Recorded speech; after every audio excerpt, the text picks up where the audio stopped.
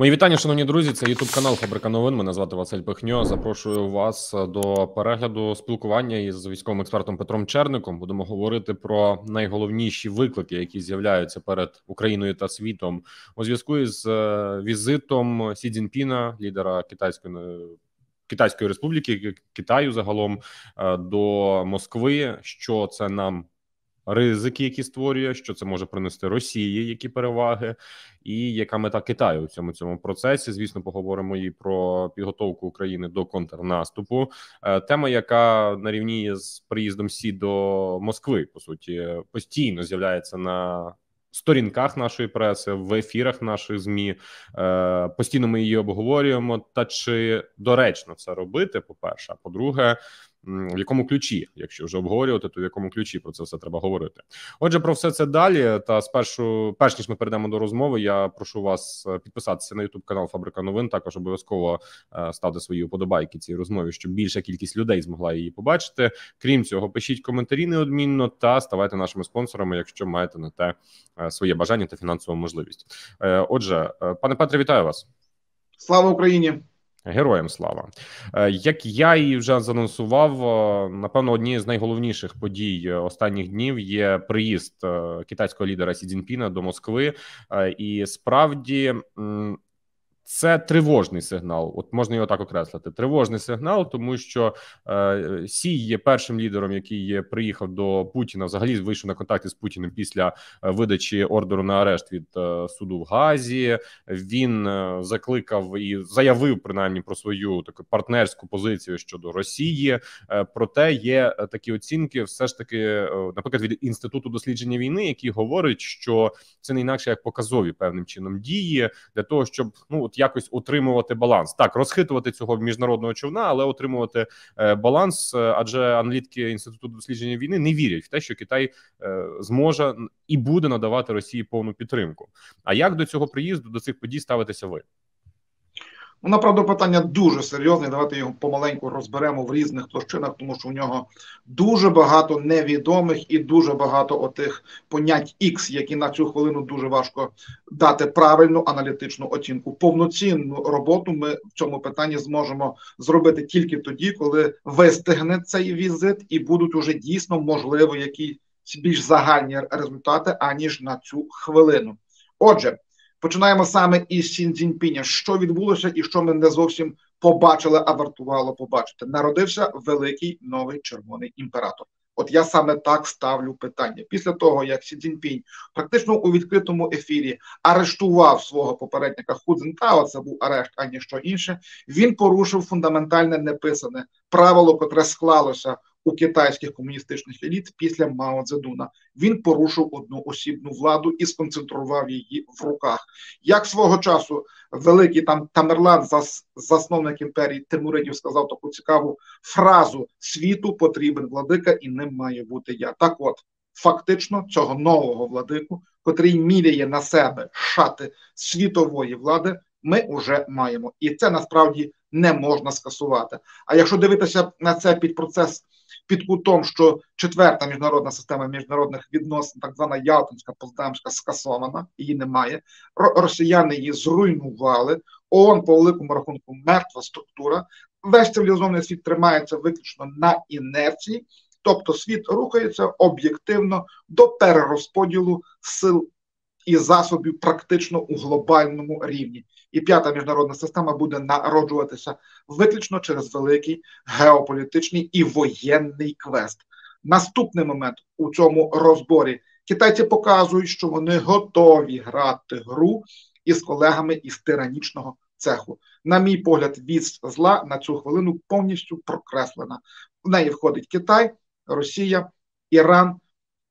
Сирія, а також Північна Корея. І оцей сукупний колективний тиран однозначно кидає виклик великому колективному заходу у першу чергу у частині демократичних цінностей. Як далеко це все зайде, направду напряму буде залежати від результатів воєнних дій в Україні і від нашої перемоги.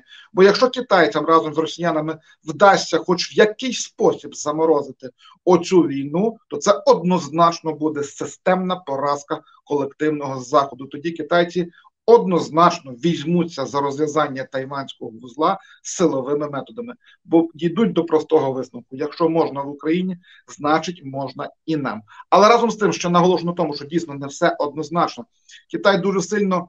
Інтегрований у світову економіку. Це експортно орієнтована економіка, практично перша чи друга, залежно як рахувати, чи номінальний внутрішній валовий продукт, чи е, паритет купівельної спроможності. Якщо по другому показнику, то мав то вже, мабуть, перша економіка світу майже 30 трильйонів доларів на рік. А євроатлантичний світ разом це майже 50 трильйонів доларів на рік, і від 70 до 80 продукт е, товарів і послуг китайців продаються саме на цьому ринку.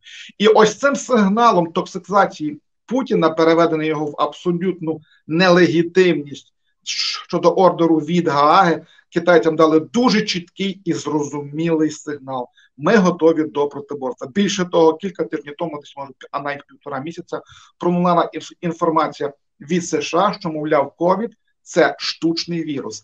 А якщо так, то як тільки це кристалізується у доктринальну систему поглядів, яку легітимізують, можливо, не знаю, у якомусь законі чи справжньому політичному рішенні, то до китайців можуть посипатися позови судові на трильйони доларів.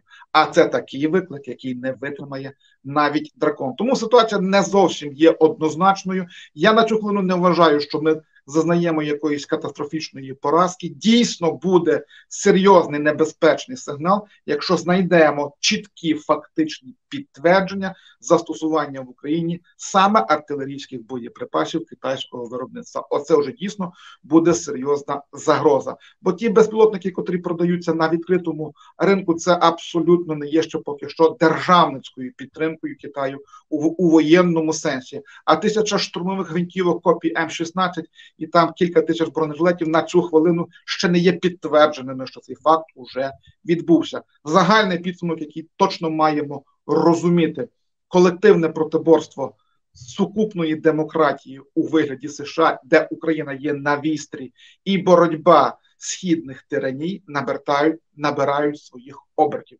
Оце направду твердий висновок.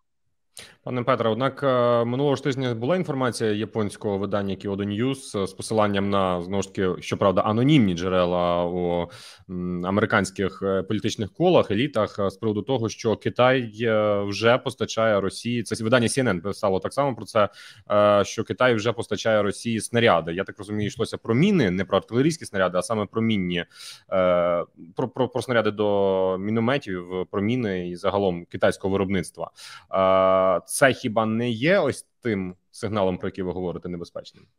Для мене поки що персонально ні. Я буду виказувати виключно свою позицію. Я можу помилятися. Це природно для людини помилятися. Але коли наше командування підкреслюю, наше командування, якому я довіряю абсолютно на 100%, не на 99,9, а на 100%, буде зафіксовано фото, відео, матеріалами номенклатуру китайських боєприпасів, а це звичайно робиться, тому що снаряд руйнується чи міна руйнується, завдає якихось уражень, але це все підлягає експертній оцінці. От коли отакі будуть фото, відео, репортажі, і наш генеральний штаб в особі посадових осіб зафіксує таку подію, от тоді для мене це вже буде по-справжньому серйозний сигнал.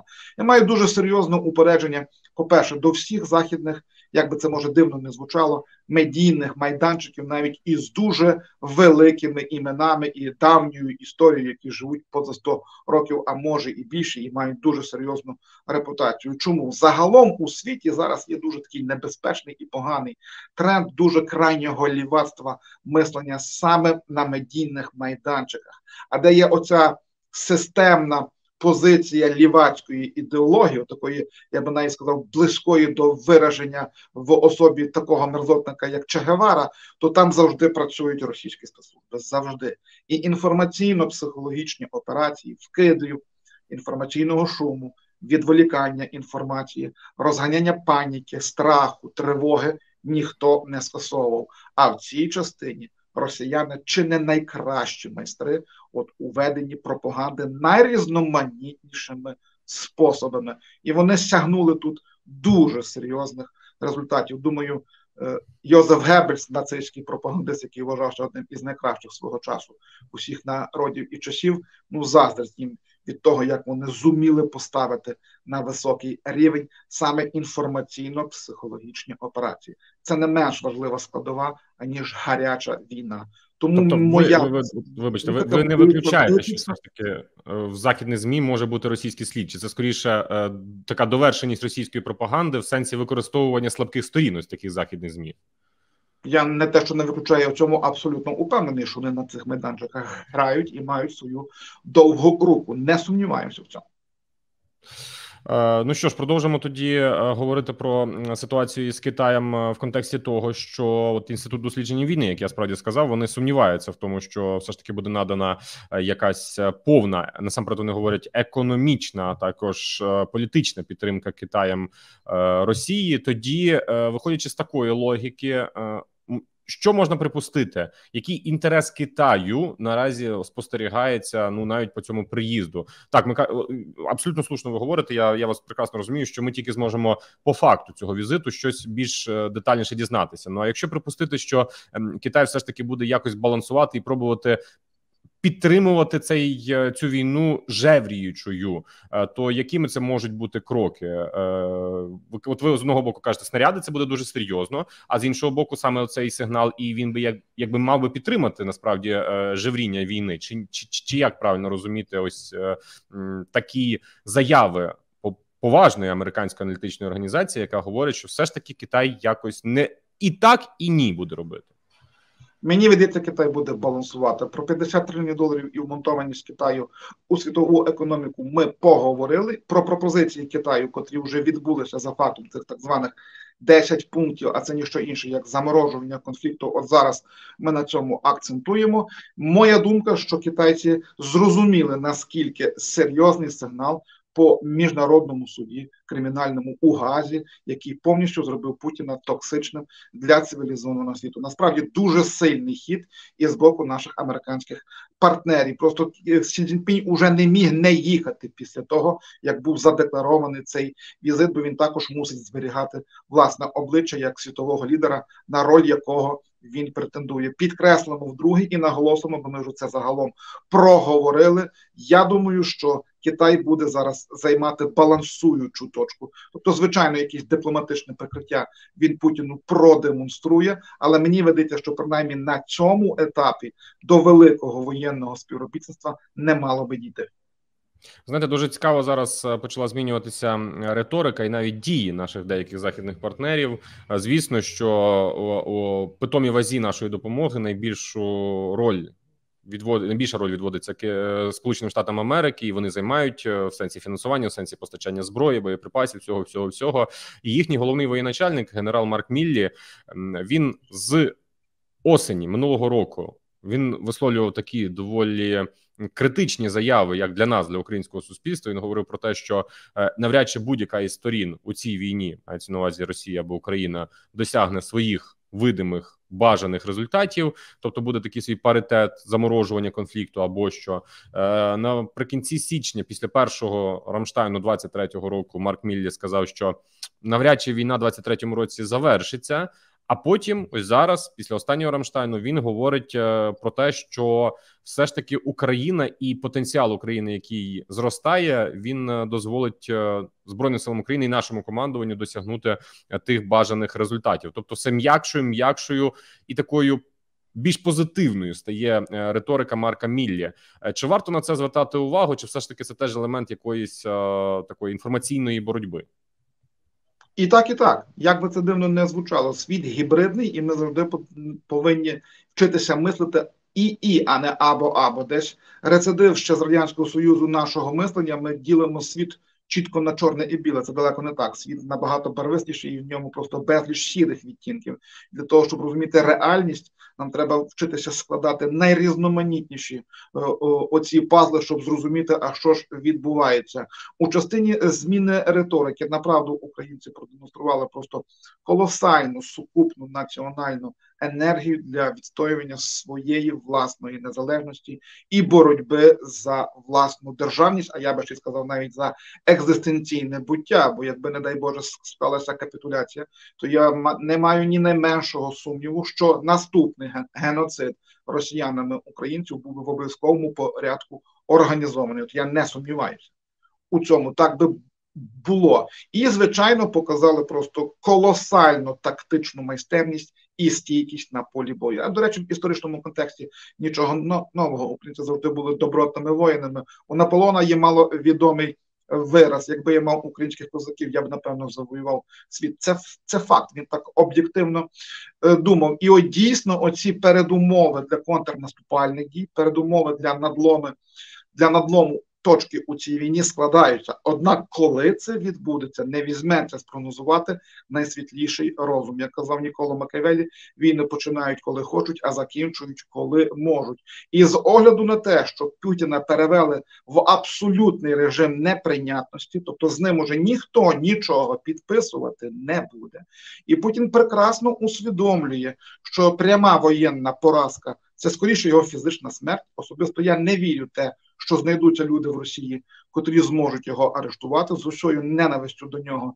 Він все ж таки уміє тримати баланс влади поміж так званими вежами Кремля. А збірного Німцова там немає. От був би він цей збірний Німцов, там чи якась там збірна Хакамада, яка там живе. І працює, і має рештки якоїсь політичної легітимності. Мені видається, його би вже давно замінили, але немає унікальної ситуації.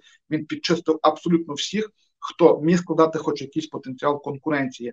А його наступники, ну хто? Пригожин, Кадиров, Шойгу, чи Герасимов, чи Бортніков, чи Патрушев, там вони ще гірше, ніж, ніж Путін. Це теж факт. Тому ситуація ще поки що доволі складна.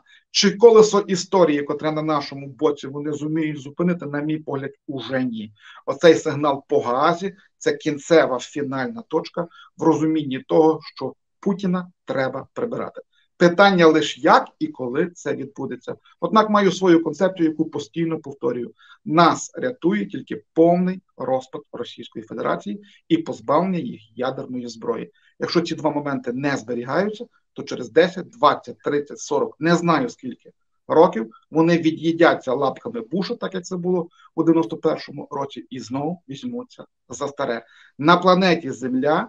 Росія, тиранічна імперська і демократична Україна не помістяться. Їхні імперські історії е, історики Василь Осипович Ключевський обґрунтував цю цю концепцію ще в кінці 19 століття. Дослівно написав так: Росія загроза Україні, Україна загроза Росії. Залишиться тільки один. Е, щодо потенціалу, який зростає, тому що справді, от е, відштовхуючись від попереднього запитання про Марка Міллі, е, цей потенціал насамперед зростає, будьмо відверті, за рахунок постачання західної техніки, за рахунок тих рішень, які за останні три Рамштайни у 23-му році були ухвалені. Е, це суттєва допомога, яка справді от зараз сприятиме Україні у створенні того броньованого кулака, який необхідний для наступу, де б він не відбувся, і коли б він не відбувся, чи зараз ось найближчим часом е, весною, чи можливо трішечки пізніше. Е, але пригадується мені, як два тижні тому видання за економіст опублікувало статтю і там. Винесли всі українські медіа таку головну позицію з цієї статті про те, що потік західної допомоги західної техніки перетворюється у річку. Чи погоджуєтеся ви з таким твердженням, що зараз річка техніки і всього необхідного для наступу л'ється таки до України? Не просто у частині номенклатури усього озброєння, яке тільки нам надано за останній час, це щось безпрецедентне із часів так званого першого ленд-лізу. Тільки одна бронетехніка за перші місяці цього року більше тисячі одиниць. Якщо разом усе скласти за вже трошки більше рік, як ми воюємо, то це вже кілька тисяч. Це неймовірно багато. Радянський Союз отримав усього за всю війну 12 тисяч одиниць бронетехніки, але масштаби тої війни і масштаби цієї війни не співмірні. Україна вже стала фактично третім імпортером у світі усіх озброєнь, в першу чергу західних зразків. А якщо деталізовуватися до, до номенклатури, то щоб одночасно три бойові машини, важкі танки, маю на увазі Леопард 2 Челенджер 2 і Абрамс одночасно йшли в одному потоці це щось безпрецедентне. Дійсно, це ота матеріально-технічна підвалина, котра однозначно покращить наші передумови для контрнаступу. І я впевнений, що він буде. Однак, однак дуже важлива деталь: по справжньому наступальні якісні операції потребують абсолютної інформаційної тиші. Про них можна говорити тільки в загальних речах. Персонально я ніколи не деталізовую фронт. Де і за яких обставин це все відбудеться? Хай відбудеться приємність розчарування, аніж його гір, гір, гіркота. Харківську операцію ніхто не бачив, а вона склалася. Е, ну, однак я уточню все ж таки, тому що е, зараз складається враження, принаймні, що те, що відбувається на фронті на півдні нашої держави, у вигляді знищення установок протиповітряної оборони Російської Федерації, е, знищенням колаборантів. Ем, контрбатарейної боротьби, яку ми бачимо, активної роботи е, і прильотів, наприклад, по Маріуполю. А ми всі знаємо прекрасно публічно. Це заявляється і пишуть у змі аналітики е, про те, що це буде або Маріуполь місцем наступу, або Мелітополь, або одразу декілька буде таких е, штурмових дій, і потім вже по факту буде визначатися, який з них є основним. Тобто, певна підготовча робота іде. І от якщо пане Петре порівнювати з серединою січня, коли ми говорили медіапросторі про те, що мовляв, російський наступ уже триває. Просто він такий повзучий, просто він такий повільний. Під Вугледаром, він під е, Бахмутом. Є якісь спроби тиску. Е, то чи можна, от в загальних межах сказати, що український наступ уже розпочався? Я би не не випереджав час і обставини. Що, на мій погляд, зараз відбувається? Я поділяю точку зору, що російський контрнаступ почався ще в листопаді, коли вони велике угруповання вивели із правого берега Дніпра Херсонщини, воно ж нікуди не поділося, і в першу чергу зосередили його на східному плацдармі, і Путін віддав не то 9, не то 10 наказ виходити на адміністративні лінії Донеччини. Однак і досі ламають зуби об Бахмут, і досі ламають зуби об Авдіївку і під Вугледаром. Оце три головні стратегічні точки, де ми направду тримаємо шалену оборону. Бахмут, на мій погляд, і це, до речі, ж навіть не мій погляд, це в їхньому інформаційному полі така думка вже шириться, я маю на увазі у ворожому, що це Сталінград навпаки. Що як свого часу Сталінград мав завдання перемолоти якомога більше нацистських військ, а потім зосереджені сили і засоби ударили і перейшли у стратегічний наступ. Отак самі вже їхні російські аналітики кажуть, що є всі ознаки того, що Бахмут це навпаки Тобто вони виконують роль нацистів, і він дійсно Бахмут має значення у частині перемелювання військ і нарощування сил і засобів з боку українців. Повторю удруге за нашу розмову: контрнаступ буде.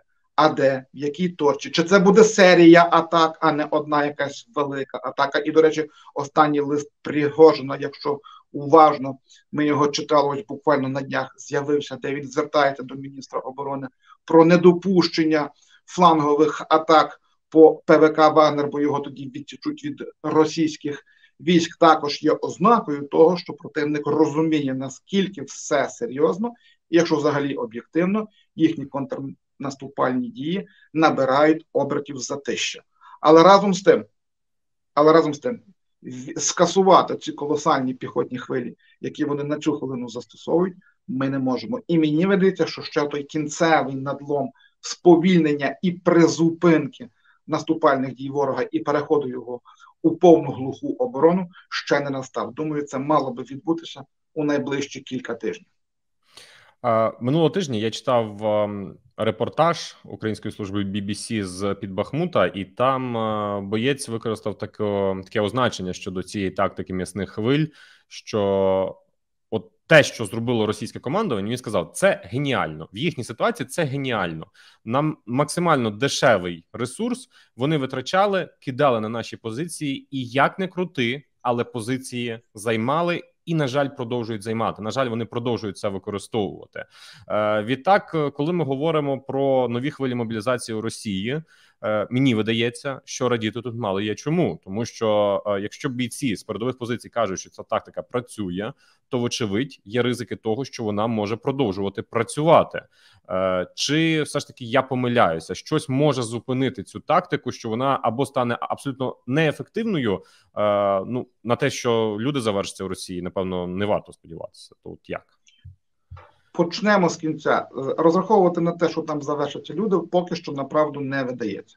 І не треба. Дійсно, ще кілька сотень тисяч смертників, котрі поставлять до строю, дадуть автомата Калашникова чи рушницю Мосіна, а треба тоді стануть із, з складів ППШ 41 ППС 42, здається, якщо я не помиляюся, там в них цих запасів цієї зброї разом поза 8 мільйонів. Це я говорю про зброю Другої світової війни, і організують класичні піхотні вали. Нічого нового в їхній історії.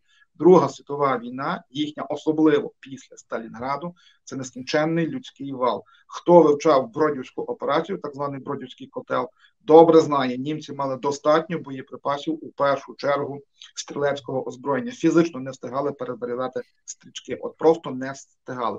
Це саме стосується і київської операції, коли Київ відвоювали, завалили німців колосальною кількістю піхоти. Це саме стосується операції Багратіон, руху через. Е, Білорусь, ніхто би у тверезому глузді не втопив там десятки тисяч людей у білоруських болотах, а вони це зробили і досягнули результату. Розгромили командування центр німців повністю. Німці не могли повірити, що таке може бути, але так сталося. І от вони повторюють цей свій класичний історичний досвід. Але все ж таки є нюанси, масштаби неспівмірні того часу і зараз. І попри те, що вони дійсно ще мають велику колосальну піхотну силу, ми все ж таки демонструємо якість її перемелювання. Питання лише коли оця точка повного затихання контрнаступальних дій перейде у їхню глуху оборону. Оце питання. В такому випадку, якщо ми говоримо про перемелювання, зрозуміло, що для перемелювання потрібно достатньо мати боєприпасів.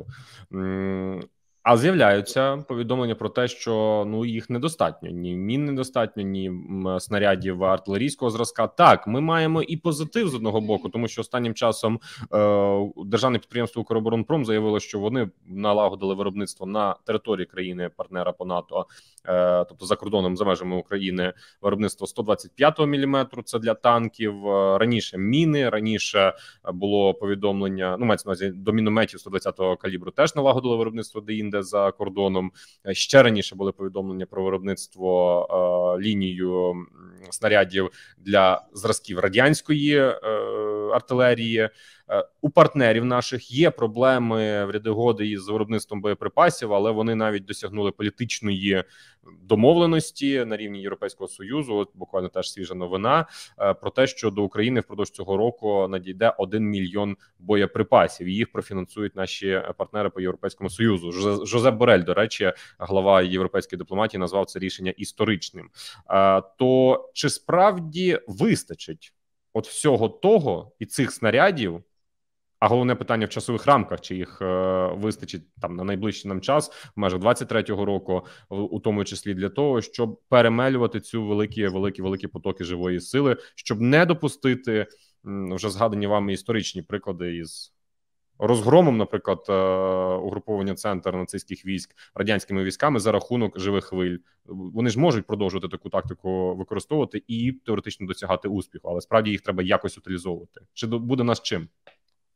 Ми їх вже утилізуємо, бо якби вони мали потенціал на справжні наступальні дії, так як мав Сталін, то вже би напевно вони у Києві стояли. Давайте будемо чесними. Вони цього не досягнули, і, на мій погляд, не досягнуть.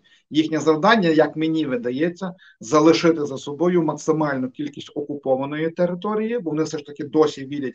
Що можуть цей конфлікт заморозити, і, на мій погляд, від, відгризати отакий метод методом кілометр, 2, 3, 5, 10, скільки вдасться. Загалом на Бахмутському напрямку вони з початку війни просунулися десь на межах 30 кілометрів. Нам дошкульно і боляче, але це оперативні показники трошки більше аніж механізована бригада для другої армії світу. Це більш ніж скромні показники. Давайте ми дуже ретельно і скрупульозно вивчимо питання, що стосується снарядного голоду у першу чергу із нашого боку. Дійсно, він є. І чому він народився? Ніхто не чекав такої великої війни на європейському театрі воєнних дій. От ніхто не очікував, що відновляться класичні артилерійські вали не просто Другої світової, а напевно ще Першої світової війни, коли десятки тисяч тонн боєприпасів застосовуються в один день. Росіяни влітку минулого року виставляли вали у межах від 45 до 80 тисяч на день. Це щось безпрецедентне. Це Це дійсно важко усвідомити, що у 65-му році американці застосували проти свого ворога за 53 години 16 тисяч боєприпасів. Усе це найвищий показник у них. На початок війни американці мали запас снарядів до 155 мм установок 2,5 мільйони. В той час, як Російська Федерація на початок війни мала від 15 до 20 мільйонів, щоб ми розуміли, яка диспропорція. У 90-х роках американці могли і виробляли до 480 тисяч снарядів на рік. Упав цей показник на початок війни, бо вони все перенесли на авіацію, вони все перенесли на високоякісні ракети, скажімо, там BGM-109 Tomahawk, і досягали завдяки цьому колосальних якісних результатів. Ось ось буквально 20 років, як війна у у цьому в Іраку прокипіла, там вся була ставка саме на високоточну зброю. Ми дійшли до висновку, що таких великих запасів артилерії не потрібно. А от виявилося потрібно і не запрацює маховик за один день. У США всього чотири виробники снарядів. Причому там унікальна система цих снарядів виробництва. От сам снаряд виливають на одному заводі, а споряджують його вибуховими речовинами і підривниками на іншому заводі. А це дуже серйозна логістика. Великий конвейер США перезапустився. Вони мали на початок цієї війни темп виробництва 13 тисяч снарядів на місяць, уже підняли до 20 тисяч і декларують на кінець літа до 50 тисяч. Це чи це хороший крок уперед? Неймовірно. Але чи він такий, щоб нам допоміг досягнути паритету з росіянами не на цю хвилину. Росіяни застосовують до 15 тисяч боєприпасів. Зараз це вже суттєво менше ніж улітку. А ми у межах 5-7. Оцей мільйон снарядів багато чи це мало. Якщо поділити на рік, це 2700 на добу. Плюс до того, що є. Це 50% успіху кроку уперед. Це дуже непогано. І рано чи пізно дійде в росіян до снарядного інсульту. Якщо китайці не почнуть допомагати, вони зійдуть до максимального виробництва 5 тисяч снарядів на день. А сукупно євроатлантичний світ перевершить цей показник у межах до 7 тисяч. І тоді дійсно можна чекати надлому. Питання лише коли ця точка прийде. Я вкотре втретє здається. Повторюю, що я не можу спрогнозувати, як це все відбудеться. Зрештою, чорний лебідь до них може прилетіти у 2013-му летів метеорит у Челябинськ. Шкода, що не долетів. Бачите, ми виходить на сам кінець розмови. Повернулися до того, що починали. Що дуже важливо буде простежити наслідки візиту Сі до Китаю, і чи справді е, цими результатами виявиться, що Китай е, постачатиме до Росії боєприпаси, і це може мати дуже серйозний вплив на війну. По суті, ось так зациклювалася. Виходить е, наша розмова. Тому будемо неодмінно стежити за цими результатами. Спасибі вам, пане Петре, що долучилися до цього спілкування в межах е, розмови на фабриці новин. Дякую вам, бережіть себе неодмінно. Дякую. Е, і дякую вам, шановні глядачі, за те, що ви з нами, за те, що довіряєте. Продовжуйте так робити. Ваші вподобайки, коментарі, підписки, а також спонсорство youtube каналу Фабрика Новин допомагають нам існувати і працювати.